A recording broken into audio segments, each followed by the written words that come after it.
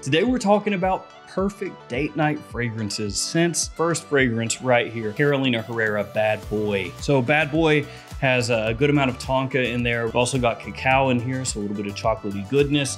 You've got uh, some pepper in there. After that, we got a fragrance that is crazy expensive. It's Y Le Parfum. Y Le Parfum is a little bit more mature, a little bit more grown up. CH Men. It's a sweet, kind of sugary leather fragrance. In the opening, actually, it's got this kind of green grassiness to it. After that, L'Homme Ideal Eau de Toilette from Guerlain. This fragrance, I almost forgot how good it is. It was like Tony the Tiger. Great. Uh, it's got a really nice cherry note in there, good amount of sweetness. You got leather, got a good amount of versatility. Great choice. So I will leave it there. Thank you guys for hanging with me. Stay safe out there.